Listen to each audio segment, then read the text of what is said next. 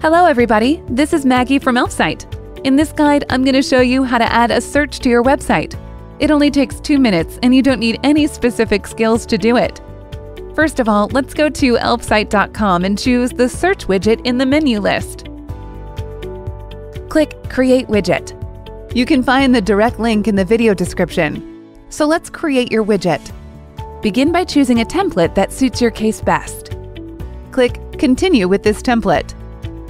To enable the widget, you'll need to get a Google API key and search engine ID first and paste them to the required fields on the Connect tab.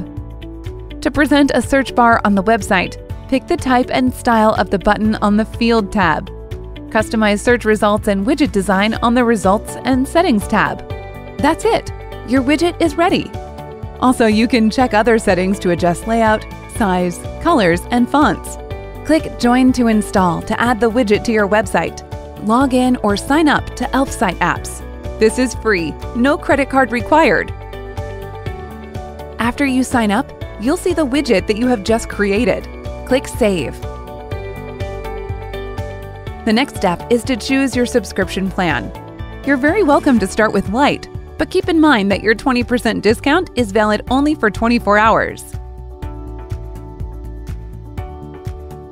Click the code to copy it and go to your website's admin panel. After you've logged into your WordPress admin panel, go to Pages section and select the required page. Click Edit with Elementor and then drag and drop HTML element to the right page area. Paste the installation code to the HTML code field in the left-hand menu. Press Update to save the changes.